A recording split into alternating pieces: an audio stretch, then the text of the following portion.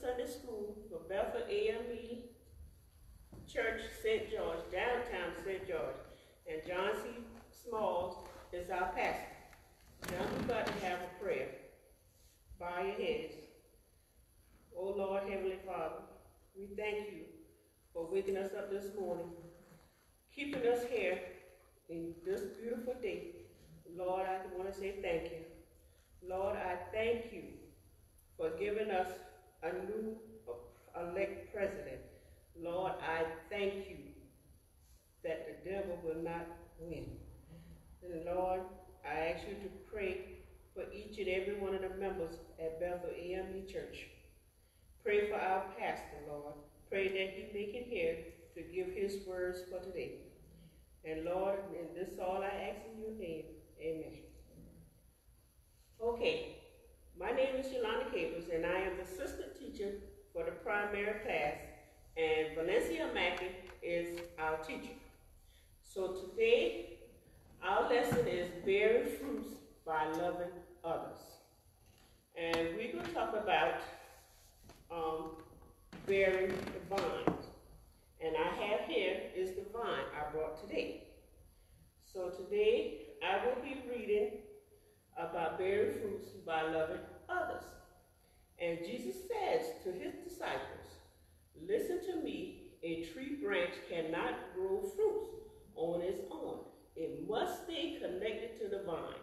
You must listen to me and love others. I am the vine, and you are like the branches. Love is like fruit.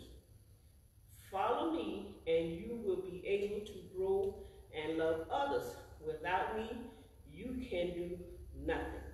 If you do as I say, you will get what you ask for. It makes God happy when you listen to me and love others. I love you the way that God loves me. Love each other as I love you. You are my friends. I have taught you everything God taught me. I chose you to go and teach others to love. And this is my command to you, love each other. So today we can talk about loving each other. And when you love each other, that's what you do for everybody. Not just certain people that I will do for certain people I won't. But in spite of, you love everyone.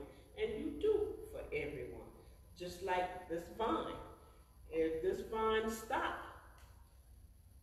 doing for others, that it will wither.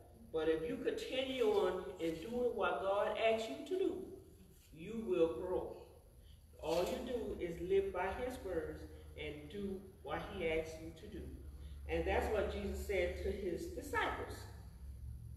He teaching them how to live by God's words and teaching them God's words.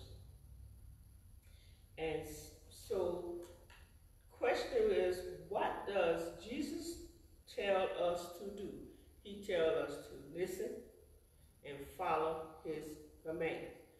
And when we love one another, we have to show our love and mean it from your heart. Some people say that they love someone and they really don't, but you're fooling nobody but yourself because God knew your heart.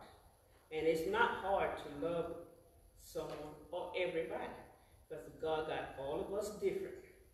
In spite of, we still got to love. And we have to be patient and kindness to one another, gentle, gracious, and peace, love, joy, where we be with one another. Okay? And then,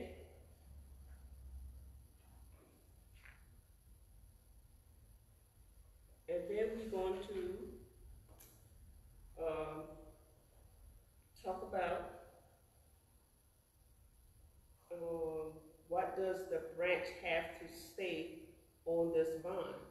But the branch have to say, if you don't live by his command, like I said earlier, it will wither and it will go short. But this vine, this person just continue on living by God's word and do as God said.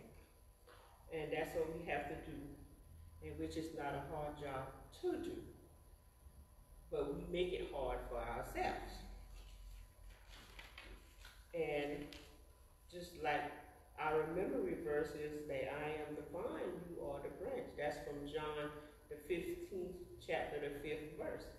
And what he said, I am the vine, you are the, um, the branches that you grow with his words.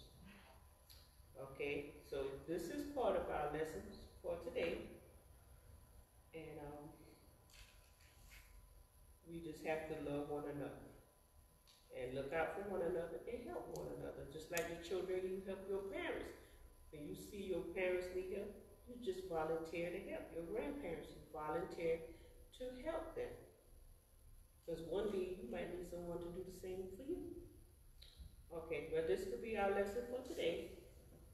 And we will have a prayer, uh, ending prayer.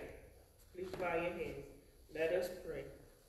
Dear God, let us become true branches on the vine that is in you, a branch that bears much fruit. Let us accept you in our lives in a way that it please you, as truth to be spoken, as life to be lived, and as light to be shared, as sacrifices to be offered. In Jesus' name we pray. Amen.